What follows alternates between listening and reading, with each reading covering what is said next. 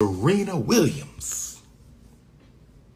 Five five, super thick in the thighs. Serena went and got her a snow puppy. Serena, you could have came and hollered at King Kong, baby. I would have took care of that.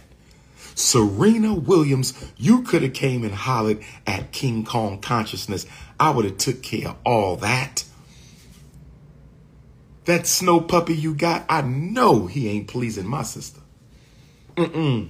Not them thighs. No way. You're not going to tell me that that European can handle all that African black girl magic Serena Williams got. She needs King Kong driving clutch. Serena needs King Kong driving stick shift clutch black girl magic.